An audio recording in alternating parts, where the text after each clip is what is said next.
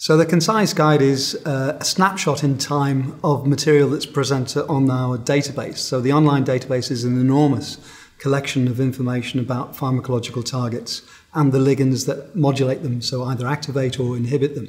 The concise guide is a, is a version which is condensed into a paper format, which is meant to highlight in particular the agents which are selective for uh, particular targets.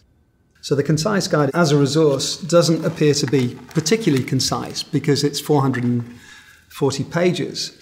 But the view we would take is it's a way of presenting the information in a concise way. So the number of targets that we have is about 1,700 molecular targets with around 4,000 ligands and, and multiple interactions between them.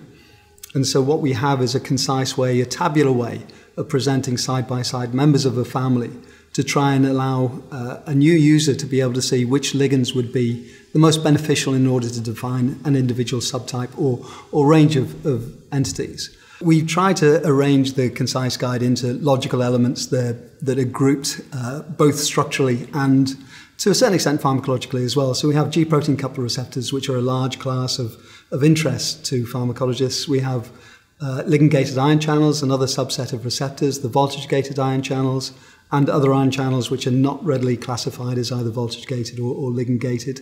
Uh, nuclear hormone receptors, catalytic receptors, and then transporters, enzymes, and other proteins which don't readily fall into the other categories.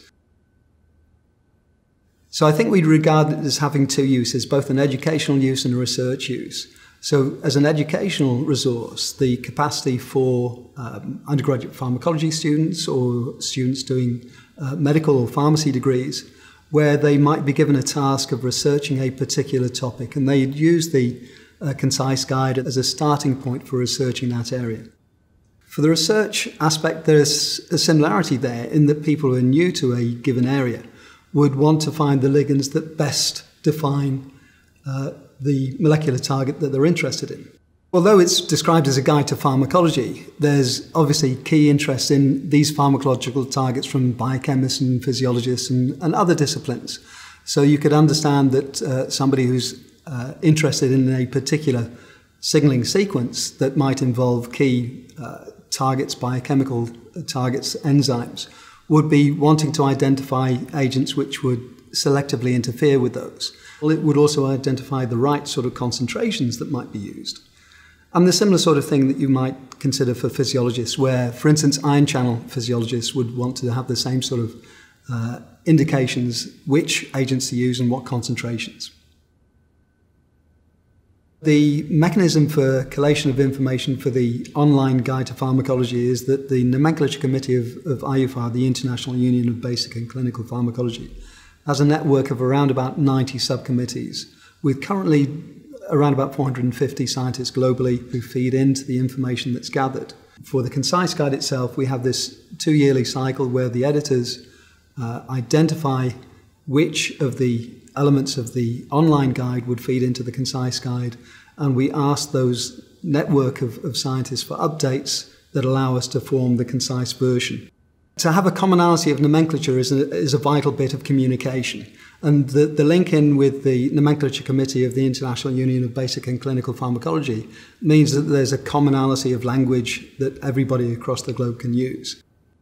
The area of expansion for the future is likely to be the enzymes, where um, there is still a few more yet to, to be defined in terms of pharmacological tools that will uh, help us to identify their involvement. For most people, there's an, uh, an involvement in drug discovery processes, in understanding the, the therapeutic aspects of drugs that are, are, used clinically. And so we focus very much on, on human receptors, ion channels, enzymes, and transporters. Where information on those isn't available, then we would also take information from, for instance, from uh, rodent species. Uh, in the future, it's not impossible that what we'll uh, look to do is to expand our repertoire to look for uh, targets that are of interest therapeutically, but are not actually uh, human targets. The concise guide will be linked to from the British Pharmacological Society website and also from the British Journal of Pharmacology website. And so what they can do is they can download uh, individual PDFs for the different sections that deal with GPCRs and ligand-gated ion channels and so on. Uh, there's also a, handy USB that if they go along to the right meetings, they can meet up with staff from the BPS and from Wiley we'll be able to pass on a USB wristband where the PDFs are also available for them to investigate.